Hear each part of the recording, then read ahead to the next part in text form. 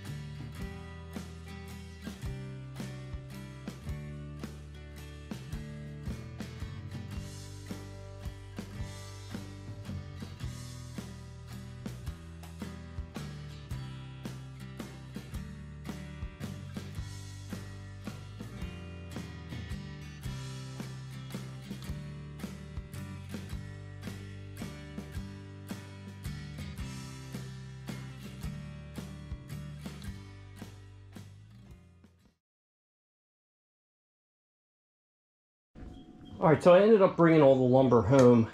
The stacks I had did the previous couple weekends, I had them sort of half-assed covered, but they got a little bit of staining that I'm minorly concerned about. I'm hoping that the stain, you know, will plane out. I didn't mess with any sandpaper yet on it. Uh, what I did end up with though today, from the tree I did, I have, you know, about nine feet long. I went up with 40 boards that are seven inches wide. So the ceiling's only 12 feet by 12 feet. Doing some quick math, I think just the tree today should get me my ceiling. So I should be able to sort through. I should have lots of extra boards left over. So I'm going to mess with some sandpaper on there and see if that uh, cleans up at all. But that was a workout. I'm gonna what I'm gonna do is I'm gonna put the fan in here and take the dehumidifier out of my basement and run it kind of like a dehumidification kiln. I took some readings. To, the today's wood was registering at about 28 or 30 percent.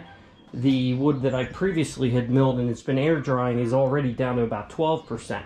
So it shouldn't take too much longer since it's so thin and ash dries fast. So, gonna get that set up now, and thanks for watching.